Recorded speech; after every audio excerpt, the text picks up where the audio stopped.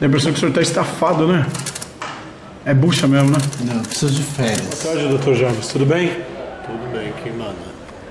Como que ficou a situação entre o hospital e o OCIP? Em que sentido? Tempo... Pagamento, eles continuam, já estão trabalhando com dois médicos. Que eu saiba, continua. Continua? Mas e a situação? Eles estão recebendo em dia? Amanhã, que, amanhã a gente vai fazer a avaliação e deve ser o pagamento deles.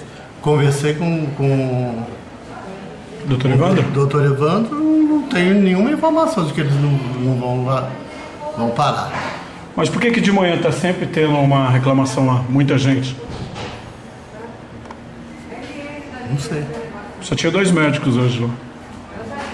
O contrato rege que é três, né?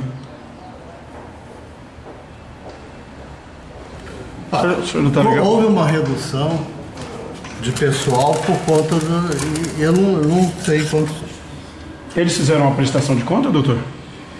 Amanhã vai ser analisada a prestação de contas. Doutor Jarvis, a impressão minha ou o senhor não aguenta mais esse negócio de Secretaria de Saúde, hein?